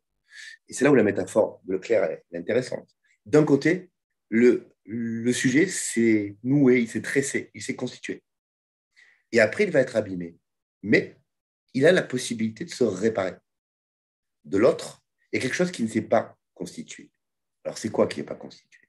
C'est une forme de clarté, je mets d'énormes guillemets, hein, parce que dans le détail, c'est plus complexe que ça. Entre déjà, lui, sujet singulier, l'altérité. L'inscription dans le langage, dans la chaîne signifiante. Ça, ça veut dire quoi? Pourquoi est-ce que je peux dire que je suis moi? Parce que je peux le dire, justement. Mais le dire, ce n'est pas seulement le dire à haute voix. Je peux dire je suis. Et je peux m'adresser un ensemble de propositions en fonction du signifié provisoire que je vais associer au signifiant. Et qui va me faire consister en tant que sujet singulier. En tant que bon névrosé moyen, je ne doute pas que je ne suis pas l'autre. Je crois savoir et je sais psychiquement que je suis moi. C'est une vérité. Ce qui est complètement faux du reste. Hein. C'est beaucoup plus complexe que ça psychiquement. Mais je me constitue par justement cette vérité-là. Chez le psychotique, ça ne consiste pas pareil. Le fait d'être soi, donc pas l'autre, ne fait pas évidence. C'est quelque chose qui ne s'est pas produit. Or, ce qui permet au névrose de se produire, c'est justement le père symbolique. C'est ce père, encore une fois, pas le père réel, enfin pas le père de la réalité en tout cas, qui va venir être lui-même objet de désir de la mère, être cet autre qui peut avoir le phallus. C'est comme ça que le sujet névrosé passe de l'être du phallus à l'avoir de phallus. Chez les sujets psychotiques, ça ne s'opère pas. Ce nom du père ne vient pas consister suffisamment pour que le sujet s'inscrive dans le langage, par le langage de la même façon, et ça ne lui permet pas, en fait, de passer de l'être du phallus à l'avoir du phallus. Ça ne lui permet pas de donner une place à ce manque. Cette place, ce vide, ne consiste pas en tant que place à remplir. Et c'est bien le problème. Comme ça ne peut pas être une place à remplir, place interne, c'est nécessairement externe. Et c'est le délire qui va pallier à ça. Et c'est l'intervention de l'extérieur, mais parce que si je pense comme ça, qui va le faire consister. J'essaie de prendre un exemple concret. Le sujet schizophrène qui est une hallucination auditive, mettons. Qu'est-ce que c'est? Une hallucination auditive, on considère aujourd'hui que c'est la voix mentale. Donc c'est penser. Quand je pense, en tant que névrosé, je n'entends pas ma voix. Mais je sais, dans le sens, je constitue en vérité que cette voix-là est la mienne. Le schizophrène qui hallucine, qui a une hallucination auditive, c'est une voix de l'extérieur. Ça parle dans sa tête, mais ce n'est pas la sienne. Et ça, c'est, selon Lacan, ce qui est justement la conséquence de cette forclusion du nom du Père. Une certaine place vide n'a pas pu se faire, n'a pas pu se tresser quand le sujet s'est constitué. Elle sera donc nécessairement palliée par de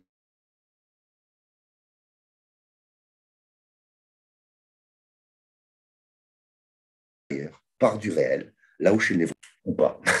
C'est vous qui me dites.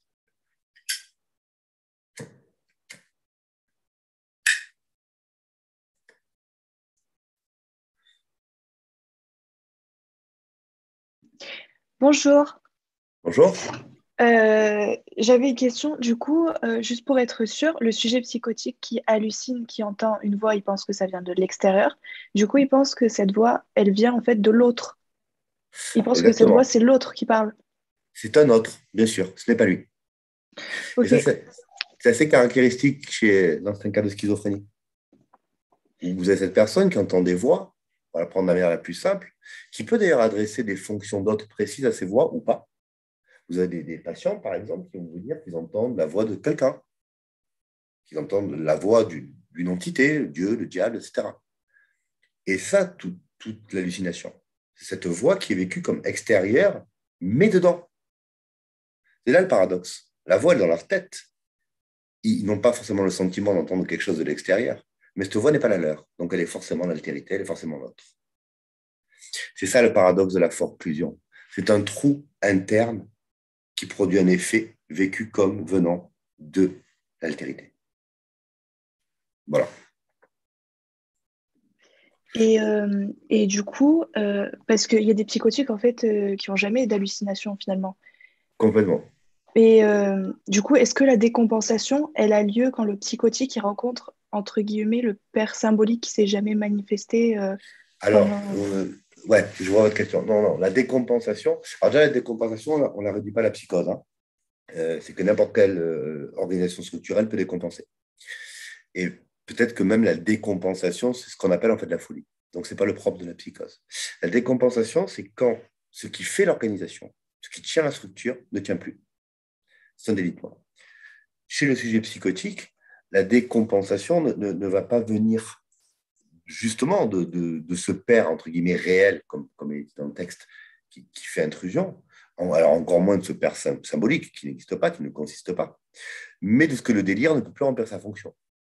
Alors, par délire, on ne réduit pas le délire à la, manifestation délirante. Hein. Le délire, c'est ce qui organise le sujet.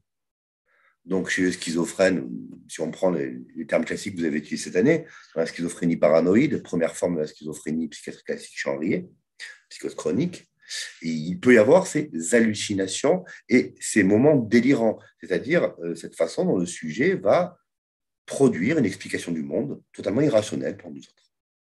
Ça, c'est une forme de délire qui manifeste. Mais le délire, c'est avant tout comment est-ce qu'il consiste chez le sujet. Alors, chez Henriet, systématisé, non systématisé.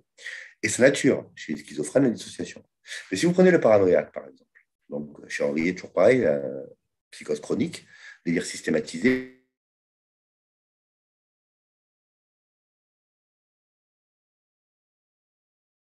l'interprétation.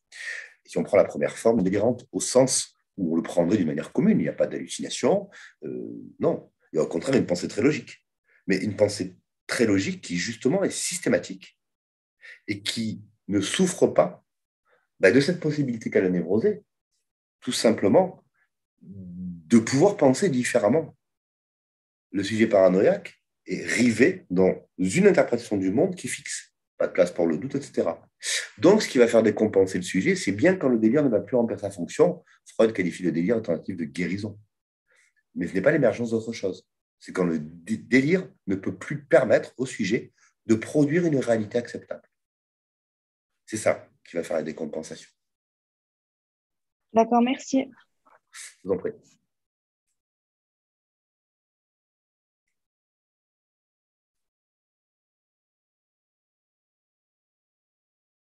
D'autres questions? Euh, Moi, j'avais une question. Je vous écoute. Du coup, euh, dans la, la castration euh, de deuxième oui. crée un manque, et c'est ce, ce, manque qui, qui est absent dans, dans la psychose.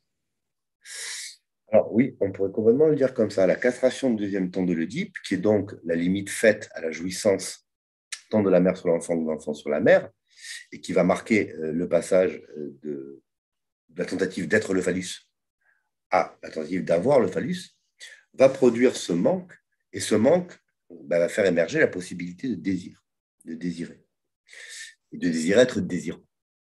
Et chez le sujet psychotique, ça ne va pas s'opérer de la même façon. Alors, ça ne veut pas dire que le, le sujet euh, psychotique n'a pas de relation au désir. Mais il y a quelque chose de ce manque qui n'est pas soutenable de la même façon quelque chose de ce manque qui, chez le sujet psychotique, pour essayer de dire simplement, en même temps, du coup, quelques approximations, mais tant pis, euh, va se constituer davantage en quelque chose d'insoutenable de l'angoisse et qui va nécessiter justement quelque chose qui va lui permettre de se contenir lui-même, de consister. Parce qu'encore une fois, le, sujet psychotique, son angoisse n'est pas de castration, hein, euh, bon, multiples, mais notamment de, morcellement, c'est quelque chose, cette délimitation corporelle et cette délimitation du discours, du langage, j'allais dire. Il n'est pas inscrit de la même façon dans le langage. Et donc, il va bien falloir qu'il en contienne quelque chose. Pour lire très simplement, hein, vous m'excuserez ce, cette vulgarisation, le sujet paranoïaque va se soutenir de justement cette vérité, cette affirmation systématique. C'est ça qui le soutient cette permanence de cette interprétation délirante qui le maintient en tant que sujet. Le sujet schizophrène, c'est plus complexe parce qu'il y a dissociation, mais les moments délirants vont lui permettre finalement de se constituer en tant qu'unité.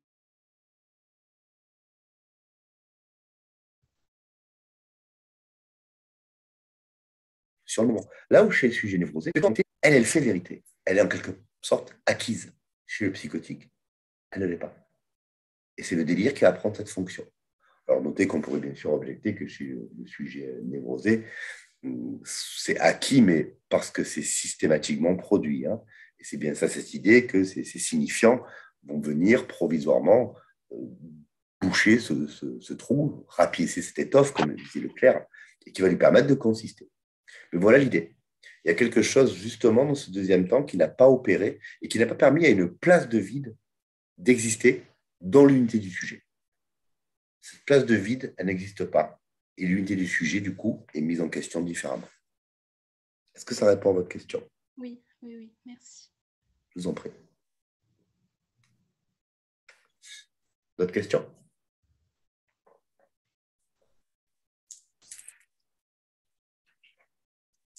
N'hésitez pas à les poser dans le chat si vous n'avez pas de micro.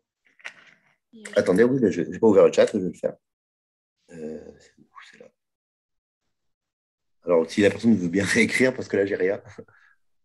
Euh, non, non, pardon, j'ai dit euh, que si des gens voulaient poser une question dans le chat, s'ils n'ont pas de micro. D'accord. Ah, mais il n'y a pas eu de question encore. Alors, est-ce que à ce stade-là, sans bien sûr être, en capacité de, tout saisir de comment est-ce que Lacan pense la psychose, hein, ça, ça, prend plusieurs années, est-ce que vous pourrez déjà, ces temps de l'Oedipe, les, retenir, vous en servir comme repère et bien voir que c'est au second temps de l'Oedipe que va se jouer quelque chose, alors qu'on peut appeler de la métaphore paternelle, du père symbolique, donc du nom du père, qui, chez une partie des sujets, va consister, va permettre d'inscrire le sujet dans quelque chose du langage, de la scène signifiante, et à partir de là, lui permettre de justement combler ce manque par quelque chose de provisoire à chaque fois, de rejouer du signifiant. Là où chez le psychotique, justement, ce temps-là, ce temps logique, n'opère pas. Et quelque chose du nom du Père est fort clos, c'est-à-dire n'est pas constitué, est enfermé. Et la conséquence de cet enfermement, c'est qu'il va se combler, entre guillemets, par quelque chose vécu comme venant de l'extérieur. Parce que c'est vraiment ça la base. Chez le névrosé, il y a quelque chose de l'intériorité du sujet, donc de l'assise de vérité du sujet lui-même, de la vérité, de la certitude qu'il est lui-même un sujet singulier, qui fait consister quelque chose. Chez le sujet psychotique, ça ne consiste pas. Il y a une opération autre qui va devoir se produire, ce qui va être la fonction du délire, mais vécue comme une extériorité qui va justement venir maintenir cette organisation qui ne peut pas suppléer à ce trou, à ce vide. Où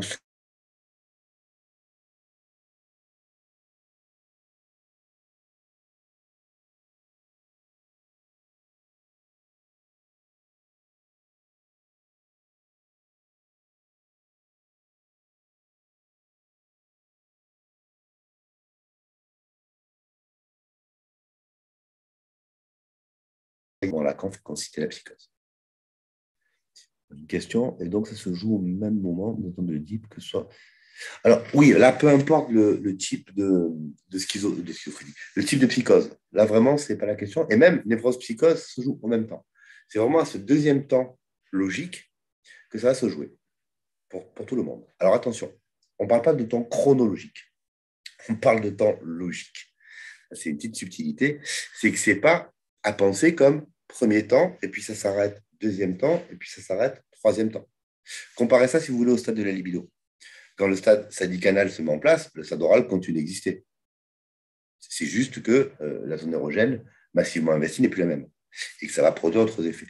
Là, c'est pareil, c'est des temps logiques, c'est des fonctionnalités qui vont se mettre en place. Donc, elles sont pas, même si elles sont chronologiques dans le fait où le premier temps intervient avant le second, elles sont plus à penser comme des organisations qui vont se produire les unes en fonction aux autres, certes dans une suite, mais en tenant compte bien sûr des effets produits par chacune. Voilà, l'idée c'est ça. Mais par contre, oui, que ce soit névrose ou psychose, quel que soit le type de psychose, c'est vraiment dans ce deuxième temps que quelque chose va se produire, dans deuxième temps logique. Mais excusez-moi, bonsoir, merci beaucoup pour euh, tout ça. Euh, mais, il y a quand même quelque chose qui se produit différemment dans les différentes psychoses. Alors certes, bien sûr, vous avez complètement raison. Mais comme ça se produit différemment dans les différentes névroses, là, ce qu'il faut bien saisir, c'est qu'il ne faut pas confondre la mécanique structurelle, c'est-à-dire comment est-ce que la structure, comment est-ce que le psychisme, hein, dont le sujet va s'organiser d'une manière générale dans sa catégorie, et comment après, dans chaque catégorie, différents types de formalisation peuvent se produire. Ce n'est pas la même chose. Si vous reprenez l'exemple de la névrose, et je passerai à la psychose après, tout sujet névrosé a une angoisse de castration, qu'il soit hystérique, psychosocial ou phobique. L'angoisse de castration, c'est la même. Le temps marquant, c'est vraiment le temps oedipien. Ça, pour n'importe quel sujet névrosé. Après, chacun va, alors pour des raisons un peu complexes et la plupart du temps inconnues, produire un type d'organisation qui va différencier. Bah, chez l'hystérique, vous allez avoir le mécanisme de conversion. Là où chez l'obsessionnel, c'est de la formation réactionnelle. Chez le phobique, euh, la déliaison la représentation pour la fixation de la convention sur l'objet. Mais il reste dans la même règle générale. Alors, dans la psychose, on peut émettre l'hypothèse, alors c'est une question parce que c'est un peu plus complexe, mais qu'il y a un principe commun. Le principe commun, c'est bien la forclusion du nom du père pour Lacan. Ça, c'est un principe commun toutes les psychoses. Après, par contre, comment en partant de cette forclusion du nom du père, la psychose va elle-même s'organiser, pour le dire plus simplement, est-ce que ça va produire, par exemple, une, une une dissociation? Ou est-ce qu'au contraire, ça va produire quelque chose paranoïaque, ou quelque chose de dépressif ou encore ce qu'on appelle les psychoses blanches, des psychoses sans délire, manifestes, voilà. Ça, ça va dépendre d'un ensemble de facteurs qu'on ne peut pas énoncer comme ça, qui sont propres à la singularité du sujet. Alors, bien sûr, quand vous travaillerez plus en détail la psychose et Lacan, il y a évidemment des explications techniques qui sont, plus ou moins d'ailleurs, portées pour les différentes organisations psychotiques. Mais la règle générale reste la même. Chez les sujets psychotiques, il y a forclusion du nom du père, quelle que soit la psychose. Ça répond à votre question? Oui, j'en voudrais plus, mais oui, c'est déjà un bon début, merci. Bah, si vous voulez euh, développer. Bah, non, mais c'était plus après comment justement les organes, enfin comment les, les structures, enfin oui. Alors après, pour, vous donner un peu plus, euh, ce qui va se jouer par exemple, euh, il y a plusieurs critères, mais ça va être notamment le type de fixation, par exemple. chez le paranoïaque, la fixation est narcissique. Euh, chez euh, le schizophrène, c'est une fixation euh, qui va intervenir bien avant, plus au niveau de, l'oralité, si je ne dis pas de bêtises. Donc, il y a déjà des, fixations dans le développement du sujet, le développement libidinal du sujet qui va être différent. En plus de ça, il y a vraiment quelque chose aussi de comment est-ce que le sujet est produit. Là, il faudrait revenir à la question, est-ce qu'un sujet qui s'avère être psychotique est produit par quelle typologie de parents, en, entre guillemets? Est-ce que euh, on est psychotique parce qu'on a une mère psychotique? Ça, ça a longtemps été une hypothèse. Euh, bon, alors pas forcément, en fait, c'est beaucoup plus complexe que ça. Mais là, ce qu'il faudrait voir, c'est comment est-ce que le sujet a été inscrit en qualité de sujet ou pas dans le giron familial, dans le giron contextuel.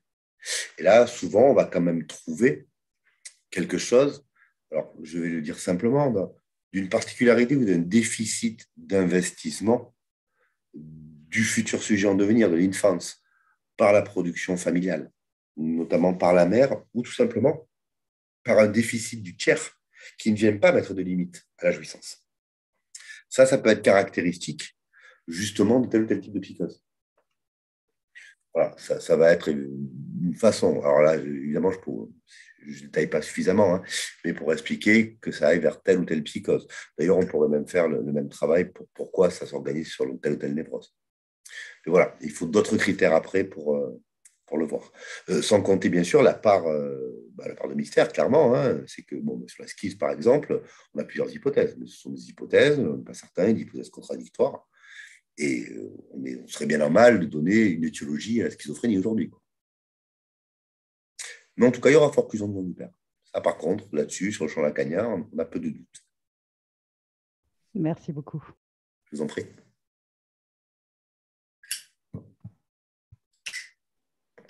Bonjour. Bonjour. si vous m'entendez. Merci beaucoup pour euh, la conférence. J'aimerais bien, euh, si vous pouvez, approfondir euh, sur la question du langage et du discours, notamment chez les paranoïaques.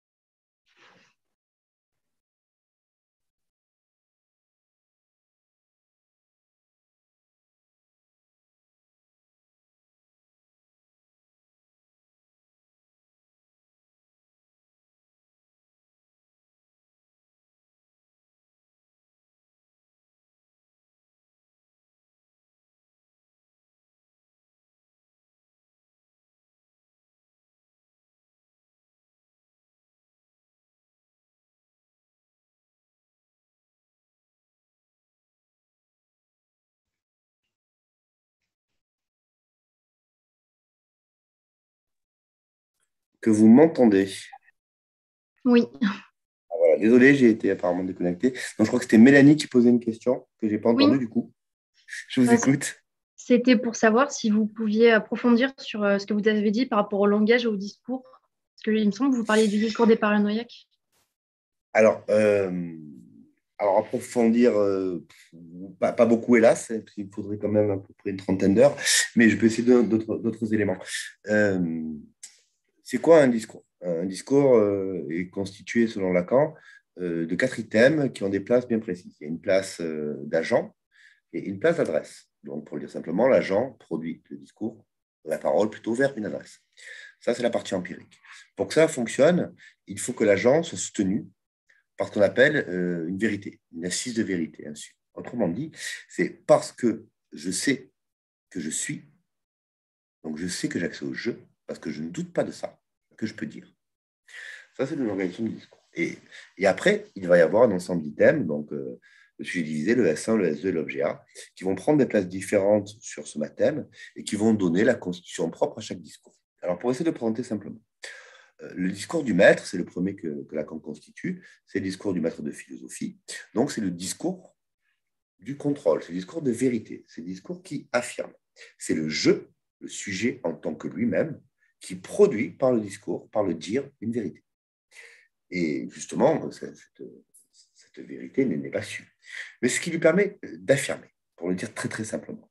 Cette affirmation, elle est nécessaire. Hein. Bah, par exemple, quand on fait un cours, qu'on dit des choses, bah, on affirme dans le discours du maître.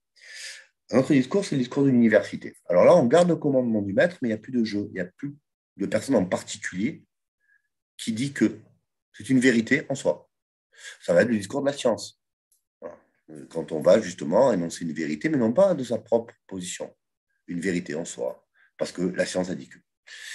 Et il va y avoir de l'autre côté, on parle du maître comme, comme centre, le discours de l'hystérique. C'est un discours qui a la particularité d'être un questionnement, une demande, pour le dire simplement. Et ce discours de l'hystérique va révéler ce que le maître veut contrôler. je ne peux pas développer plus, mais dans l'idée, c'est le passage d'un discours à l'autre, notamment du maître vers l'hystérique, qui va produire l'émergence euh, que, que, Lacan a appelé euh, le discours de l'analyste. Et ce discours-là, c'est le seul qui a la, la particularité de permettre au ça parle, c'est-à-dire à toute la logique inconsciente, à tout l'inconscient structuré comme un langage, de passer en gros du système inconscient au système inconscient, de venir produire quelque chose que le sujet va entendre de lui-même. C'est ce qui va lui permettre de se dire, mais pas de se dire dans une affirmation de lui-même,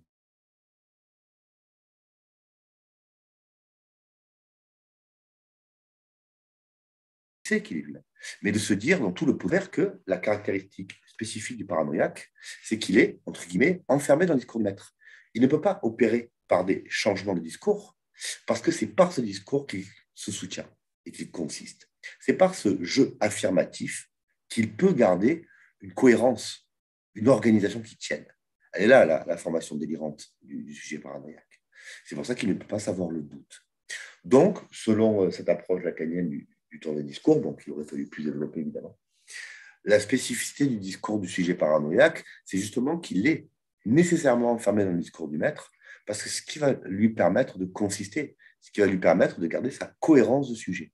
C'est-à-dire, comme disait Lacan, sa normalité dans la psychose. Lacan en disant que le sujet névrosé est normal dans la névrose, le sujet psychotique normal dans la psychose, et le sujet pervers normal dans la perversion.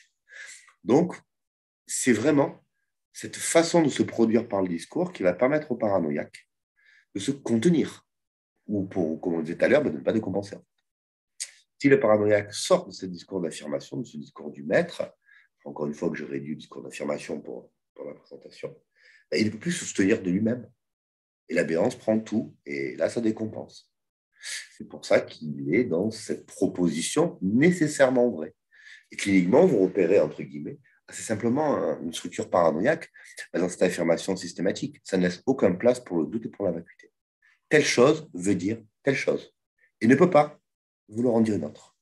Ce qui d'ailleurs, si vous vous souvenez de ce qui a été dit au, début, c'est bien justement ce signifiant figé à insignifié ben, qui va faire la caractéristique là du paranoïaque. Là où je suis névrosé, le signifiant, si on reprend l'étoile, l'étoile, l'étoile, l'étoile, et les quatre signifiés qu'on peut accoler à ce même signifiant, pour le paranoïaque, dans le moment où il est, ça ne peut être que ça.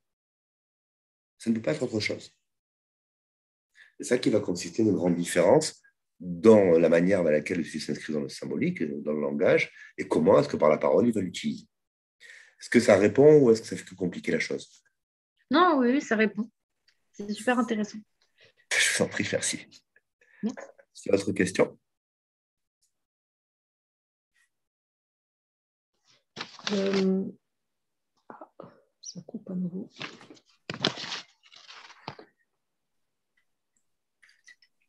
J'aurais une question, mais je ne sais pas si euh, on m'entend.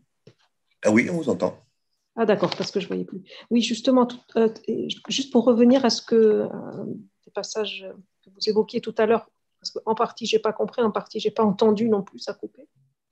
vous disiez que donc, chez le psychotique, le psychotique pâlit le trou laissé par la forclusion du nom du père, mm. si je formule correctement. Il pâlit ce trou par le réel, c'est ça? Alors non, c'est pas qu'il pâlit à ce trou par le réel, c'est que ce trou, ce qui fait qu'on ne peut pas même provisoirement le combler, Ah, ça coupe à nouveau.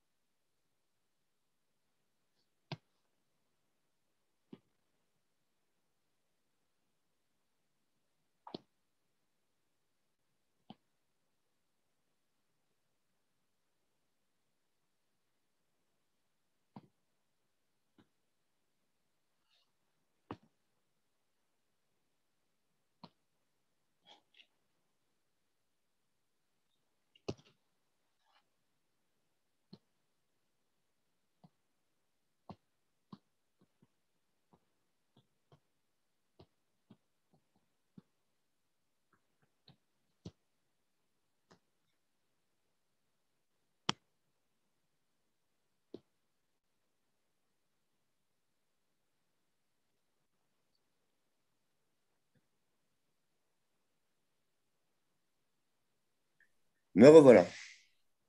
Ah. Désolé. Donc, oui, comme je vous disais, c'est vraiment cette, euh, cette place-là qui n'existe pas. La question n'est pas pour le psychotique comment je vais remplir justement cet endroit vide. Ça, c'est la question du névrosé. Et le névrosé s'en débrouille. C'est qu'il n'y a pas de possibilité qu'un endroit soit vide. D'accord. C'est ça qui fait trop, justement. Mmh. L'impossibilité à ce qu'il y ait du vide. Mmh. Et ce trou, justement, il va nécessiter une autre organisation, et c'est la fonction délirante qui va y pourvoir, qui va justement euh, essayer de composer avec ce trou, mais par des interventions que le délire va produire comme étant de l'ordre du réel, c'est-à-dire de quelque chose d'extérieur.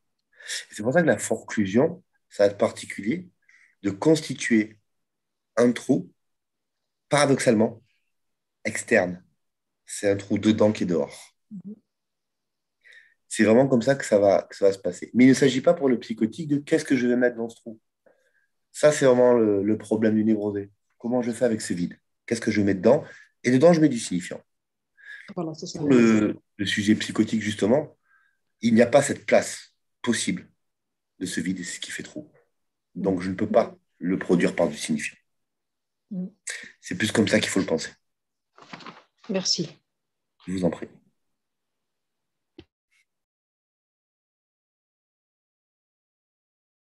Une dernière question pour la route?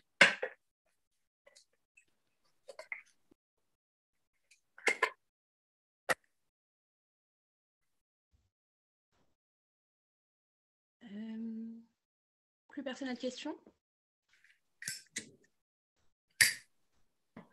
Alors, si plus personne n'a de questions, je, vous voilà, je vous propose quelques lectures quand même.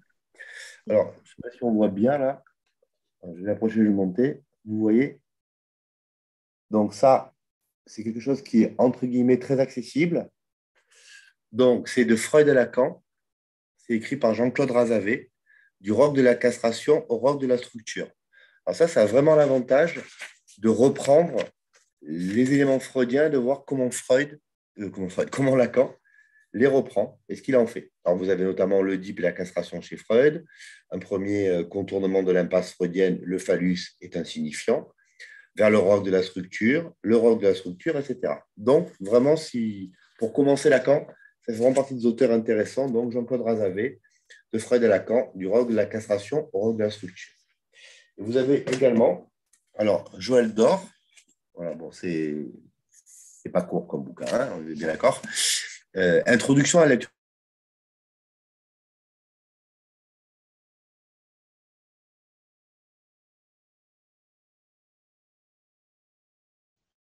Euh, monsieur, on ne vous entend plus.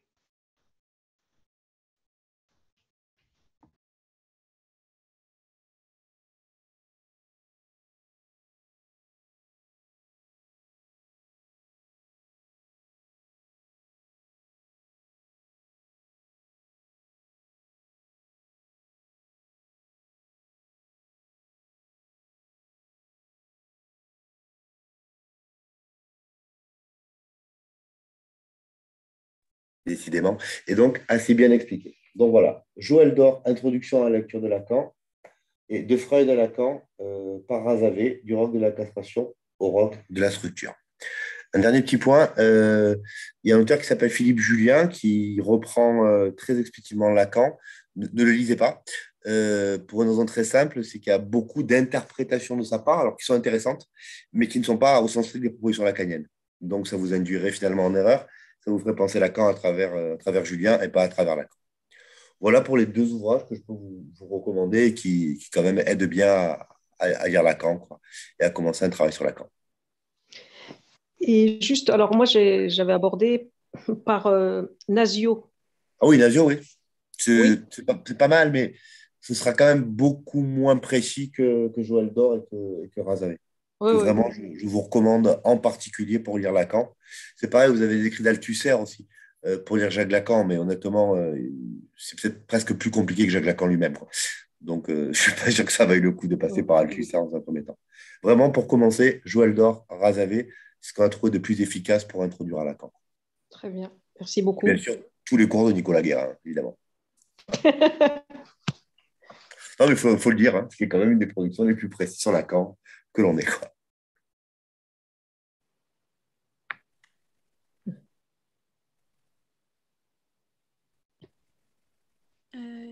merci beaucoup, Monsieur Hiras. Je vous en prie. Merci beaucoup, vraiment. Ben, écoutez, je souhaite une bonne soirée à tous. Alors, je, petit rappel aussi, vous pouvez solliciter euh, les tuteurs, évidemment. Vous avez quand même des gens particulièrement compétents qui sont en master et qui peuvent reprendre avec vous. Euh, et, le cas échéant, vous avez aussi la Cité psychanalytique du vendredi, la SPV, qui fait régulièrement des séminaires qui va reprendre en février et qui fait toujours des passages de Freud à Lacan, sont organisés par des étudiants, en général de M1 et M2. Et ça peut aussi vous donner des, éclairages. Je vous souhaite une bonne soirée à tous, euh, bonne chance pour euh, les examens à venir et un rendez-vous au second semestre en ce qui me concerne en psychopatho adulte pour les L3. OK? Merci beaucoup. Merci. Bonne soirée. Au revoir. Bonne soirée, au revoir.